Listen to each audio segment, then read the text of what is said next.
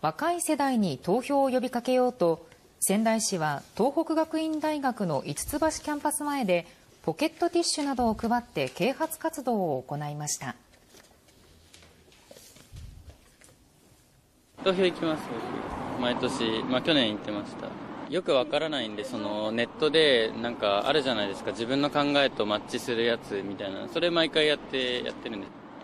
投票今年は行こうと思ってます。自分若者なんで若者のことを思ってる人がいいなと。学生たちに話を聞いてみると投票に行くつもりだという人がいる一方で地元に住民票を残したままという大学生特有の問題を抱えている人もいます。あ選挙あるのは知ってました。あの住民票移してなくていけないです前回2019年の県議選の年代別投票率は10代から20代が20%前後と他の世代に比べて低くなっていて若い世代の投票率の向上は大きな課題となっています。政治家の方たちが何やってるかっていうのが分かんないっていうのが一番大きいと思ってて、